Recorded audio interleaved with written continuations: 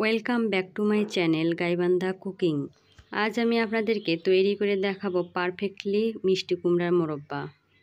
কোনো রকম ঝামেলা ছাড়াই একদম কম সময়ের মধ্যে তৈরি করে দেখাবো। এরকম রসালো ডিলিশিয়াস অ্যান্ড হেলদি মোরব্বা আপনারা বাসায় ট্রাই করবেন। আশা করছি রেসিপিটা ভালো লাগবে। যারা কুমড়া খেতে পছন্দ করেন না, তারা এইভাবে ডিলিশিয়াস মোরব্বা তৈরি করে দিন, অবশ্যই পছন্দ করবে।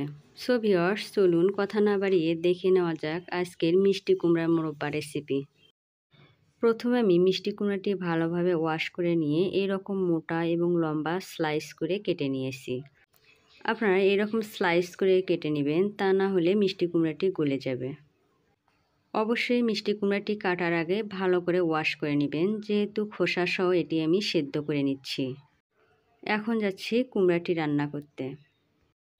কেটে নেওয়া কুমড়াগুলো একটা হাঁড়িতে আমি ঢেলে নিলাম। কয়েক টুকরো দারুচিনি এবং সাদা এলাচ দিয়ে দিচ্ছি।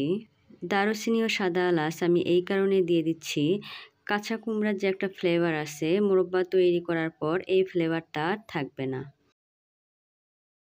এখন দিয়ে দিচ্ছি আমার টেস্ট মতো চিনি। আপনারা যেটুকু পরিমাণ কুমড়া নেবেন, আপনাদের টেস্ট মতো চিনি দিয়ে দিবেন। এখন কুমড়াটা সেদ্ধ হওয়ার জন্য দিয়ে দিচ্ছি পরিমাণ মতো পানি। এই কুমড়ার মুরব্বা তৈরি করতে আপনারা চাইলে লিকুইড দুধ অ্যাড করতে পারেন। আমি লিকুইড দুধ অ্যাড করি নাই। এখন কুমড়াটা আমি ঢেকে দিচ্ছি। এখন সেদ্ধ হওয়া পর্যন্ত ওয়েট করব। এই পর্যায়ে চুলার আঁচটা আমি মিডিয়াম টু হাই রেখেছি। সো ভিওর্স কুমড়াটা আমার অলরেডি সিদ্ধ হয়ে গেছে। এটা সিদ্ধ করতে আমার পঁচিশ থেকে 30 মিনিট সময় লেগেছে। মোরব্বাগুলো আমি এখন নামিয়ে নিব। সো ভিওর্স দেখতেই পারছেন মোরব্বাগুলো অনেকটা রসালো হয়েছে। এটা দেখতেও যেমন রসালো, খেতেও তেমন টেস্টি এবং হেলদি মোরব্বাগুলো আমার ঠান্ডা হয়ে গেছে, এগুলো এখন পরিবেশন করার পালা। সো ভিওর্স এই মুরব্বাটি তৈরি করতে কোনো সময়ের প্রয়োজন হয় না, খুব কম সময়ের মধ্যে তৈরি করা যায়। সো ভিওর্স দেখতে পাচ্ছেন আমার মুরব্বাগুলি একটু ভেঙে যায়নি। তৈরি করার সময় এটাকে কোনোভাবেই নাড়াচাড়া করা যাবে না।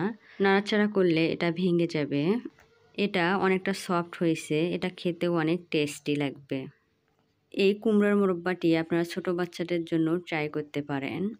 সো ভিওয়ার্স আজকে রেসিপিটা যদি ভালো লেগে থাকে, অবশ্যই শেয়ার করবেন এবং লাইক দিবেন। আশা করছি রেসিপিটা আপনাদের অনেক ভালো লাগবে। এতক্ষণ আমার সাথে থাকার জন্য সবাইকে অসংখ্য ধন্যবাদ। আল্লাহ হাফেজ।